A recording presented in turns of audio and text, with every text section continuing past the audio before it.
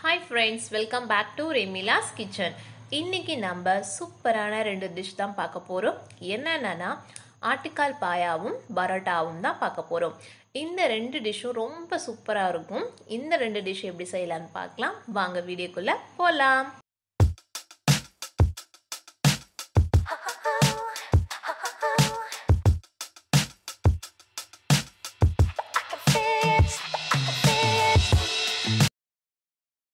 வீடியோக்குள்ளே போகிறதுக்கு முன்னாடி நம்ம சேனலை சப்ஸ்கிரைப் பண்ணாதவங்க சப்ஸ்கிரைப் பண்ணிவிட்டு பக்கத்தில் இருக்க பெல் ஐக்கானை மறக்காமல் கிளிக் பண்ணுங்கள் இப்போ எப்படி செய்யலான்னு பார்க்கலாம். அதுக்கு முன்னாடி ஆட்டுக்காலை வந்து நம்ம நல்லா க்ளீன் பண்ணி வச்சுக்கலாம். நான் வந்து கடையிலேருந்து வாங்கிட்டு வர பார்த்து முடியோடு தான் வாங்கிட்டு வந்தேன். வீட்டில் தான் க்ளீன் பண்ணேன். இதே மாதிரி நம்மளுக்கு சின்ன சின்ன பீஸ் வேணால் கட் பண்ணிக்கோங்க. இல்லைனா பெருசாக கூட நம்ம கட் பண்ணிக்கலாம். இப்போ நம்ம கட் பண்ணியிருக்க பீஸ் எல்லாத்தையும் ஒரு பவுலில் போட்டுக்கலாம். இப்போ வந்து நம்ம கொஞ்சம் கொஞ்சம் மசாலாலாம் போட்டு கொஞ்சம் மிக்ஸ் பண்ணி வச்சுக்கலாம். அதுக்கு ஃபஸ்ட்டு கால் ஸ்பூன் மஞ்சத்தூள் போட்டுக்கலாம். அப்புறம் ஒரு அரை ஸ்பூன் மிளகாய்த்தூள். அப்புறம் உப்பு வந்து தேவையான அளவு போட்டு நம்ம நல்லா மிக்ஸ் பண்ணி ஒரு டென் மினிட்ஸ் அப்படியே ஊற வச்சிடலாம்.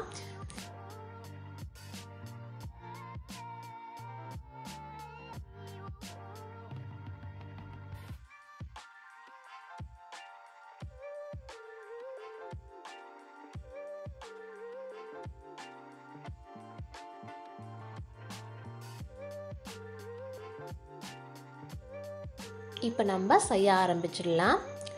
குக்கரில் கொஞ்சோண்டு எண்ணெய் போட்டுக்கலாம். எண்ணெய் நல்லா சுடனதுக்கப்புறம் நம்ம பட்டை ஏலக்காய் கிராம்பு வச்சுருக்கோம் பாருங்கள் அதை நான் சேர்த்துக்கிறேன். இது கூடவே நான் ஒரு மூணு பச்சை மிளகாவையும் சேர்த்துக்கிறேன்.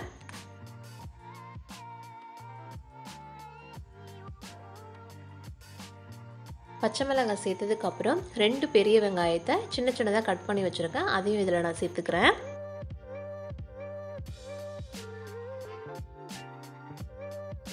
வெங்காயம் கொஞ்சம் வதங்கினா போதும் ரொம்ப வதங்க வேண்டியதில்லை.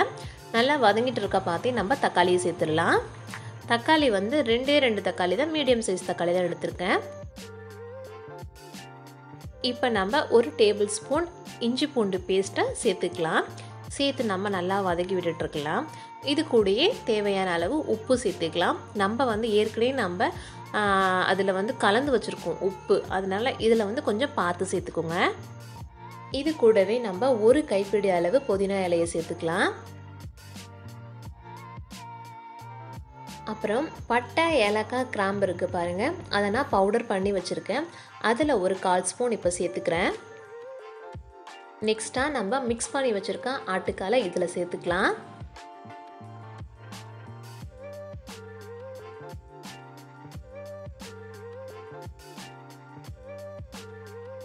இப்போ ஆட்டுக்கால் எல்லாத்தையும் சேர்த்ததுக்கப்புறம் ஒரு பெரட்டு பெரட்டிக்கலாம்.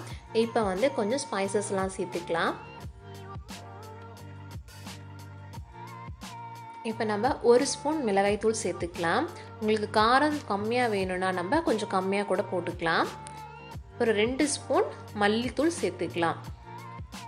அப்புறம் ஒரு கால் ஸ்பூன் கரம் மசாலா சேர்த்துக்கலாம். கரம் மசாலா வேணான்னா நம்ம ஸ்கிப் பண்ணிக்கலாம். ஏற்கனவே நம்ம பட்டை கிராம்பு அந்த தூள்லாம் போட்டிருக்கோம். அதனால் உங்களுக்கு கரம் மசாலா வேணான்னா அதை நம்ம ஸ்கிப் பண்ணிக்கலாம்.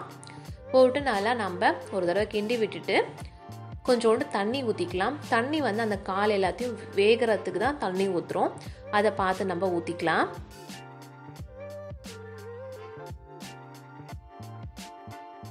இப்போ நம்ம குக்கரை மூடி விசில் போட்டுடலாம் கிட்டத்தட்ட ஒரு பத்து விசில் நல்லாவே வரட்டும். அப்புறம் ஒரு டென் மினிட்ஸ் சிம்மில் வச்சுடுங்க. அதுக்கப்புறமேட்டா ஓப்பன் பண்ணி பார்க்கலாம்.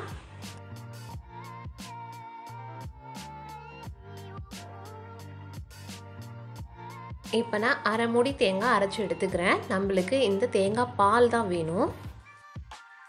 நெக்ஸ்ட்டாக பரோட்டா போட ஆரம்பிச்சிடலாம். நான் வந்து மாவை ரெண்டு மணி நேரத்துக்கு முன்னாடியே பிசைஞ்சு வச்சுட்டேன்.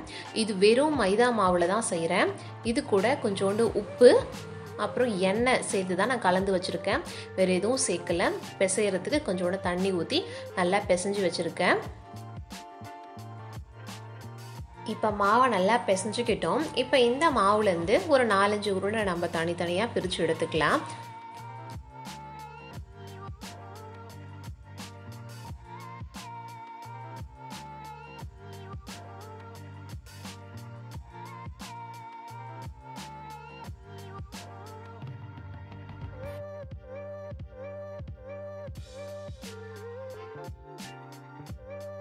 இதிலேருந்து ஒரு பால் எடுத்து இப்போ நம்ம திரட்டிக்கலாம்.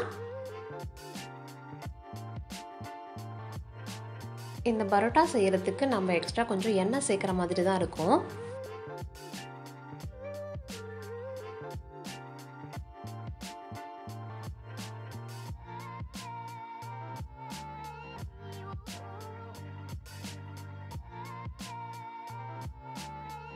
மாவை நல்லா திரட்டிட்டு கொஞ்சம் எண்ணெய் போட்டு நல்லா திரட்டிக்குங்க.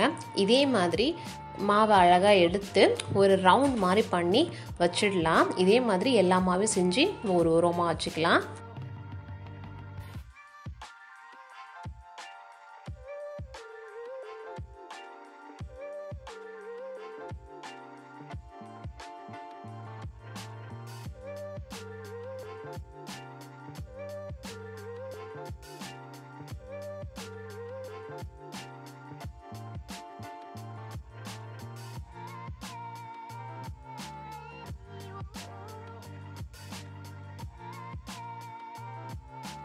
இப்போ நம்ம மாவெல்லாம் சுற்றி வச்சுருக்கோம் பாருங்கள் அதுலேருந்து ஒன்று எடுத்து இப்போ உருட்டி நம்ம தோசைக்கல்ல போட்டுடலாம்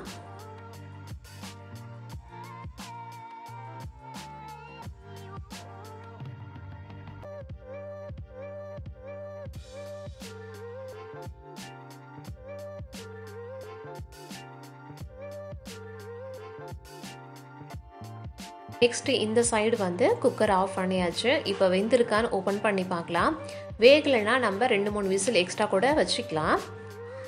ஒரு தடவை நல்லா வெந்திருக்கான்னு பார்த்துட்டு நம்ம அரைச்சி வச்சுருக்க தேங்காய் பாலை நான் இதில் சேர்த்துக்கிறேன்.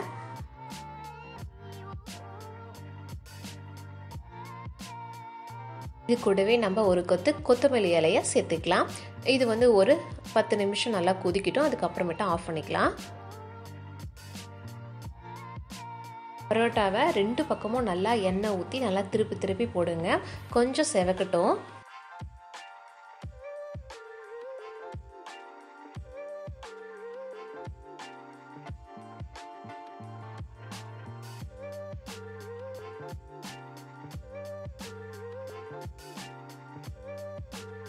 பரோட்டா நல்லா வெந்ததுக்கப்புறம் இதே மாதிரி எடுத்து நல்லா நாலா பக்கமும் நல்லா அடித்து விடுங்க. அப்போ தான் பரோட்டா நல்லா சாஃப்டாக இருக்கும். இந்த பக்கமும் ஆட்டுக்கால் பாயா நல்லா கொதிச்சிடுச்சு. இப்போ நம்ம அடுப்பு ஆஃப் பண்ணிக்கலாம். அவ்வளோதான் ஃப்ரெண்ட்ஸ் நம்மளுடைய பரோட்டாவும் ஆட்டுக்கால் பாயாவும் சூப்பராக ரெடி ஆகிடுச்சு இந்த டிஷ் உங்களுக்கு பிடிச்சிருந்ததுன்னா லைக் பண்ணுங்கள் ஷேர் பண்ணுங்கள் மறக்காமல் ரெமிலாஸ் கிச்சனுக்கு சப்ஸ்கிரைப் பண்ணுங்கள் தேங்க்யூ ஃப்ரெண்ட்ஸ்